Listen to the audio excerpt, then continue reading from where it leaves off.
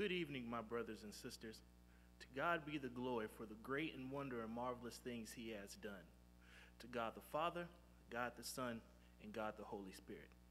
I would like to thank our pastor, Dr. Lester James Gillespie Sr., for giving me this opportunity to present to you this evening upon the first day of Black History.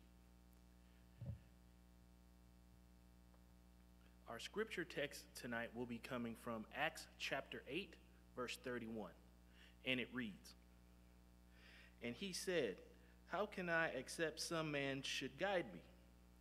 And he desired Philip that he would come up and sit with him. If I could tag this text, it would simply be put teaching others. I would like to start by saying this is a great time not only to celebrate the Lord Jesus Christ, but celebrate yourself. In a way, as so, not to be boisterous or braggadocious, but if I could say that black history shouldn't be regulated just to 28 days in one month. Rather, we should embrace our history every day, every week, every hour, every minute, and every second. Because whether that you know or not, in some way, you're making history yourself. Now, I understand that our normal black history heroes, such as Dr. Martin Luther King Jr., Malcolm X, Harriet, uh, Harriet Tubman, Jackie Robinson, they didn't do what they did just so they can have monuments, days recognized to them, to be celebrated. What they did was that they saw wrong and did whatever they needed to do to make it right. At that time, we were, and we still are, a marginalized group of people, but didn't have equal rights. And what it took, it took righteous people just to simply guide us and teach others that what they see was wrong. Now, in the time of Acts chapter 8, there was a certain group of people that were being persecuted and that were being unjustly treated for what they believed in. Now, this happened as a result of them being beaten, thrown in jail, and even killed. Kind of sounds familiar with the correlation of what happened not too many decades ago. But there was a constant theme that through love, change would come. And yes, we're still fighting that fight today. That change will come. But what is it going to take? It's not going to take violence. It's not going to take hatred it's not going to take persecution. What it is, is simply taking the time to teach someone and help them understand. If it worked back then, it could work now. For instance, when we get into the part of scripture that we're looking at tonight, first of all, all Peter, all Philip really did was just simply listen to God when God told him, Go speak to that man. He didn't know him. Clearly, he looked different from him. But he took the time to go up to that man and ask him about the scripture that he was reading. And there was a great end result of that. But as we take the time to teach others, how are we going about it? Are we berating them for what little that they know? Are we puffing ourselves up because we think we know more? Or are we simply just coming with a loving message, a loving tone of care? Now, I can totally understand that sometimes it gets hard because it's easy for you to understand. You've been in it. But if we could take the lesson from Jesus and just meet people where they are, their change will come.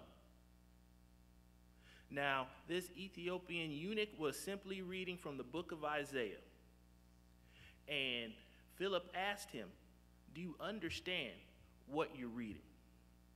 And he said, basically said, How can I know if there's no one to teach me? See, that's where we come in. Because with the loving message from God, you can teach so many and do so much for many people. But just really, you can teach by how you live your life. And it's like I said earlier, you can be making history.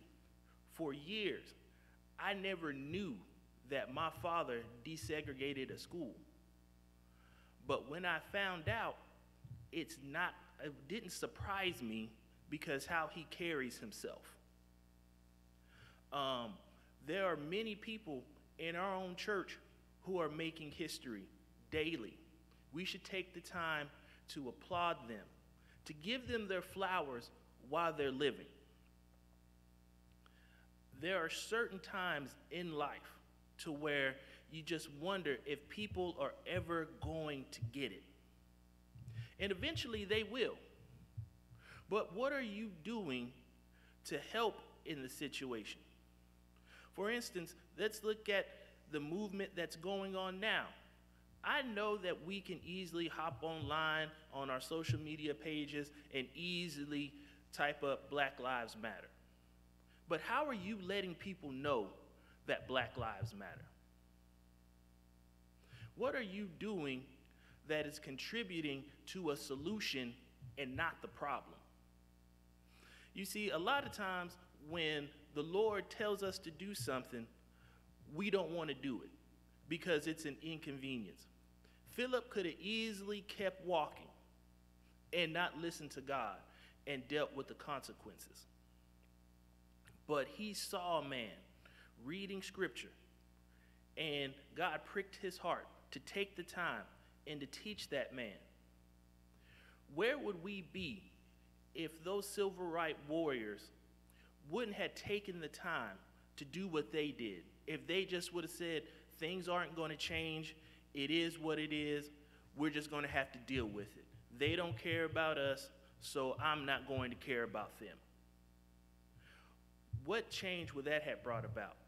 Now, we're not where we are, where we want to be, but thanks to all those people from the past, from our present, and we're helping already our future to get to maybe the America and the world that we never saw, but America and a world that we believe is coming.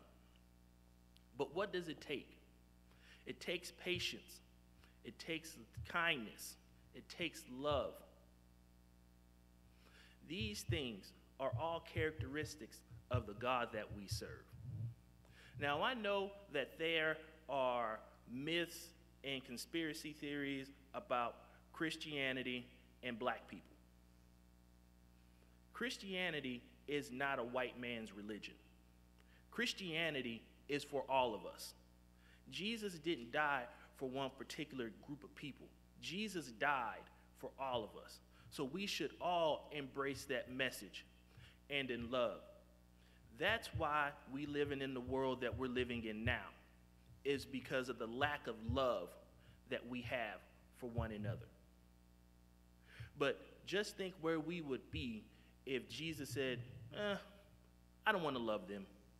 I'm not doing what, I, what needs to be done. Just think about that kind of world.